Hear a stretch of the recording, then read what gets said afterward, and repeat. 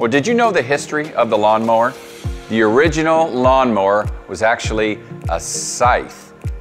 Well, in the 1830s, Edwin Budding developed the push mower. You would push it from behind. It had a drum with blades and it would cut the grass. They were very heavy. Uh, the mowers had to get bigger and they actually ended up then being pulled by horses. And then came in the late 1890s the invention of the steam powered lawnmower. So several people were inventing it at the same time, as with a lot of things, with the steam engine changing uh, the world in the Industrial Revolution, people found out ways to do things, invented the steam powered lawnmower. So eventually it was very similar to, to Budding's original invention. It was kind of longer, boiler right in the middle, with a steam engine that drove a set of gears that would drive the rear pulleys and the wheels and all that and made things happen. So the steam powered lawnmower was the preferred choice until like many things, uh, the petrol powered engine came along.